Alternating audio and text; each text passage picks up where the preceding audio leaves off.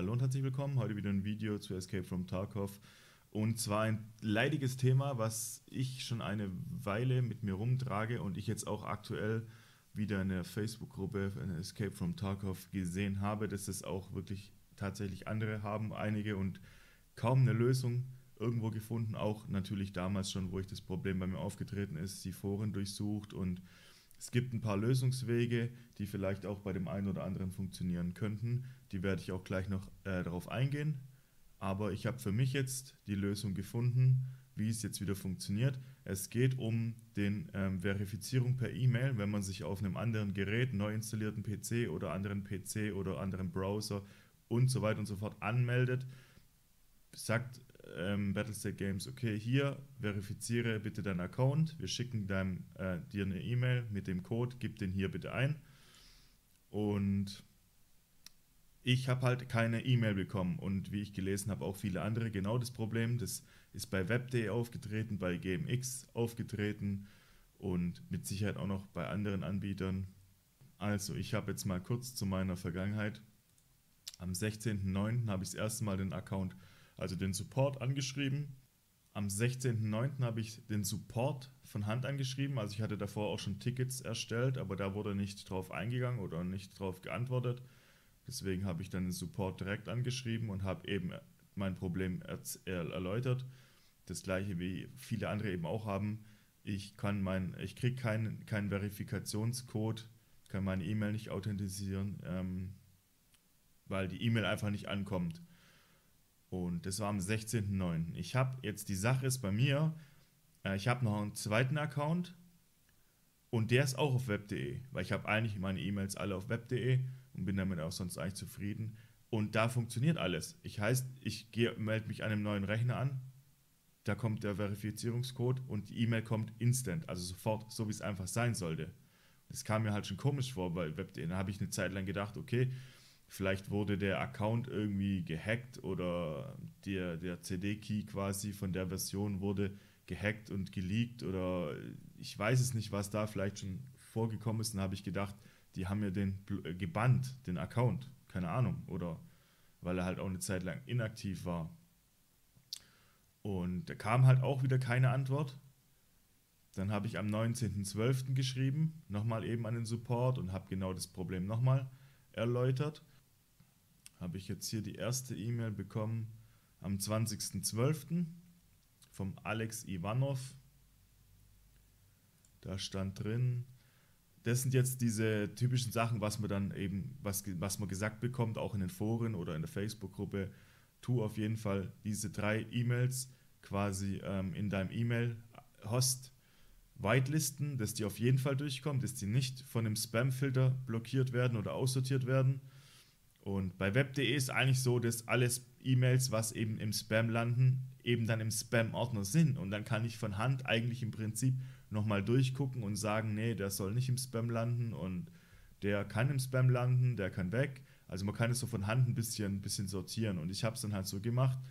Habe dann auch keine E-Mails davon im Spam-Ordner gehabt. Ich gucke den eigentlich auch mal durch, weil es jetzt nicht so viel Spam ist, aber eben immer mal was im Spam landet.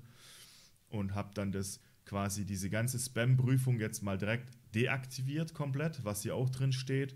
Habe die E-Mail-Adressen, wo ich alle, wo ich eben E-Mails von Battlestate Games erhalten kann, gewitelistet, dass die auf keinen Fall auf die Blockliste kommen.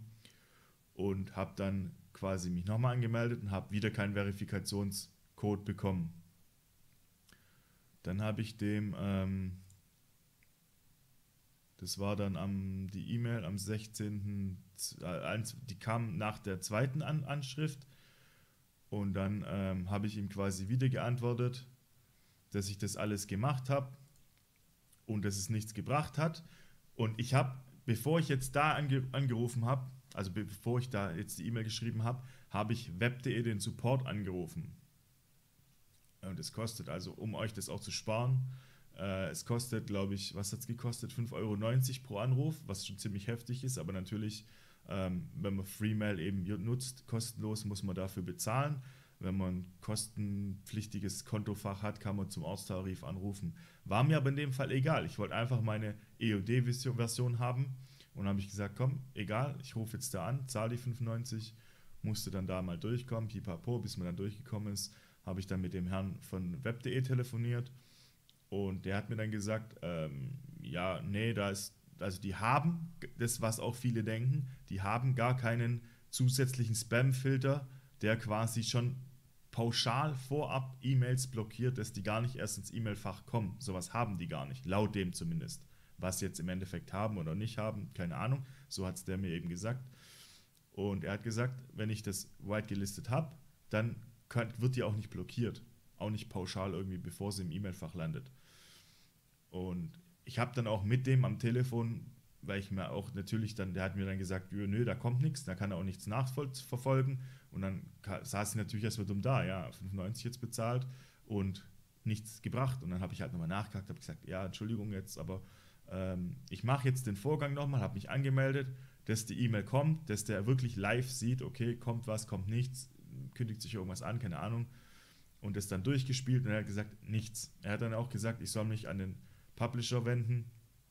Er soll das nochmal manuell schicken, von Hand quasi oder irgendwie manuell einstellen, das von denen ihrer Seite oder auf dem Weg von dort irgendwas irgendwie blockiert wird oder pipapo, keine Ahnung. Habe jetzt auch nicht alles verstanden, was sie mir erzählt hat. Aber im Endeffekt halt schon natürlich komisch, weil es mit einer Web.de-Adresse funktioniert, mit der anderen Web.de-Adresse nicht. Und ja, dann habe ich dem lieben Alex Ivanov nochmal geschrieben gehabt. Wann habe ich ihm geschrieben? Gesendet. Das war am 8.1. Und die Antwort kam heute. Wo haben wir es? Am 12.1. beziehungsweise gestern kam die E-Mail. Ich habe es aber heute erst gelesen. Und da stand jetzt drin, Hello, try to receive a letter now. Sorry for delay. Also im Endeffekt, ja, okay, ich soll es halt nochmal probieren und Entschuldigung für die Verspätung. Hab mich dann angemeldet. Tatsächlich, die E-Mail Verification Code kam. Problem gelöst. Also im Endeffekt müssen die da irgendwie manuell irgendwas machen. Wenn's, wenn, wenn, wenn du dabei bist und deine E-Mail nicht bekommst, sei es von web.de oder GMX, brauchst du da nicht viel rummachen. Schreib denen, dass du mit deinem, ähm, dass du dir die, die Spam-Filter, mach natürlich die Spam-Filter rein, also tu die ganzen E-Mails whitelisten, mach alles, was ich dir jetzt gesagt habe. Und wenn dann die E-Mail immer noch nicht ankommt, dann weißt du sicher, dass es einfach von Battlestate Game Seite äh, eine Handlung bedarf. Schreib denen das dann genauso, schreibt, was ihr alles gemacht habt, schreibt denen das eben du auch mit dem Support oder was auch immer geredet hast, die haben da keinen Spamfilter und dann müssen die eben von Hand gucken oder von Hand irgendwas manuell einstellen an deinem Konto oder bei der E-Mail-Versendung, keine Ahnung. Und dann funktioniert es. Also bei mir funktioniert es jetzt. Ich habe jetzt auch schon wieder von heute den bekommen, um mich anzumelden. Und ja, Problem gelöst. Ich denke, damit werden einige werden sich freuen, einige werden auf einmal wieder einen Account haben, weil die, ich habe auch schon gelesen, dass sie sich dann eben nochmal einen zweiten Account gekauft haben, weil sie natürlich spielen wollten, aber es ist natürlich ärgerlich und auch nicht Sinn und Zweck der Übung. Und ja, so funktioniert es auf jeden Fall. Puh, ja, leidiges Thema hat sich jetzt auch echt lang gezogen, weil ihr wisst mit Sicherheit auch, der Support oder keine Ahnung meldet sich nicht oder meldet sich über verspätet, dann kriegt man erstmal irgendwelche Standardantworten. Deswegen schreibt ihm auf jeden Fall gleich alles rein, was ihr gemacht habt und dann sollte das eigentlich funktionieren. Ich habe jetzt hier eine Version quasi auch ähm, doppelt, die ich nicht mehr brauche. Also habe ich mir überlegt, die vielleicht ähm, zu verschenken. Wenn da Bedarf ist für die EOD-Version, könnt ihr auf jeden Fall mal in die Kommentare schreiben. Schreibt auf jeden Fall natürlich, gebt einen Daumen hoch, Abonniert auch gerne den Kanal für weiteren EFT-Content und natürlich schaut auch im Livestream vorbei auf twitch.tv-hangemau live. Link ist auch in der Videobeschreibung. Würde mich freuen. Ich denke, da wird sich der ein oder andere darüber freuen, über die EOD-Version. Und ja, dann sage ich vielen Dank fürs Einschalten und bis zum nächsten Mal. Ciao.